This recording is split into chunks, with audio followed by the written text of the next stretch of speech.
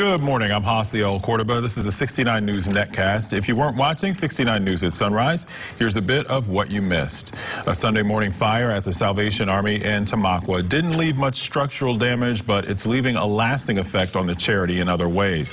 Food bank donations and clothing meant for a veterans meant for veterans in a giveaway in a few weeks are gone. Crews will begin cleaning up and replacing what they've lost today. Authorities still haven't identified the woman killed in a fire in Bethlehem or said how the fire started.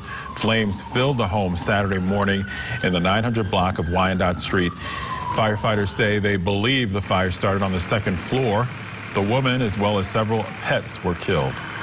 Jurors will be back in a Northampton County courtroom today to decide the fate of Dakota Baptiste. He was found guilty of first-degree murder on Friday for the killing of Terrence Ferguson in Palmer Township.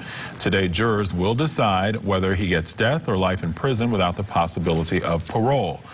And in weather, a gray and gloomy Mother's Day means we're in store for pretty much more of the same today. Unseasonably chilly with temperatures topping out in the upper 40s. But sunnier, drier, and warmer weather is back Wednesday. For more local news, watch 69 News or get updates at WFMZ.com. With the 69 News Netcast, I'm Hasiel Cordoba.